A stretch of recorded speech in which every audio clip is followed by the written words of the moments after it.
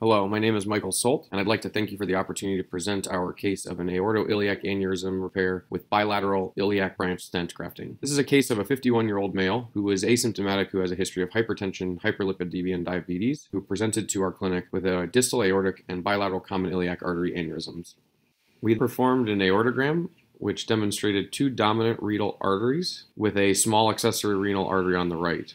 We noted that there was an occluded IMA with patent common internal and external iliac arteries bilaterally, with an aneurysm in the distal aorta as well as in both iliac arteries. Over a stiff wire, the left iliac branch device was advanced into the aorta.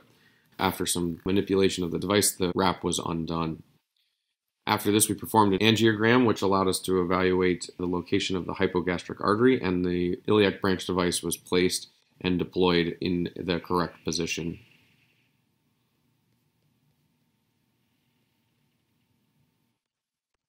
The advantage of the up and over wire access is that the internal iliac gate of the device has been pre-cannulated and we now have wire access. We then deployed the ipsilateral limb, which landed short of the iliac branch device on the left.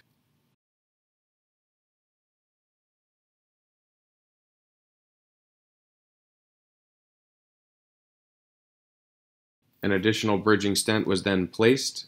Again, a bridging stent was used with care taken to make sure there was adequate overlap as well as not intrusion on the flow divider in the left iliac branch device.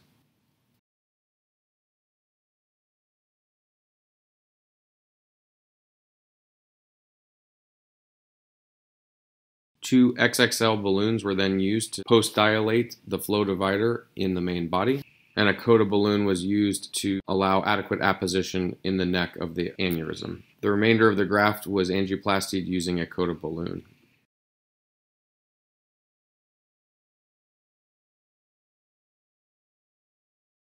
An angiogram was then performed, which showed an adequate result with no evidence of an endoleak, with good flow through the aorta, patent renal arteries bilaterally, patent common internal and external iliac arteries. Following this completion angiogram, both sheaths were removed. The pre-closure devices were then used to close the arteriotomies and pressure was held. The patient was awakened and transported to recovery in stable condition with palpable pulses.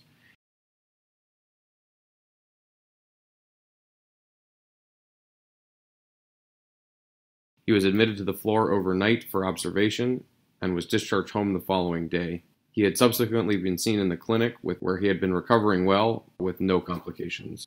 We would like to again thank you for the opportunity to present this work, as well as Eric Jarvie for his assistance with the production of this video.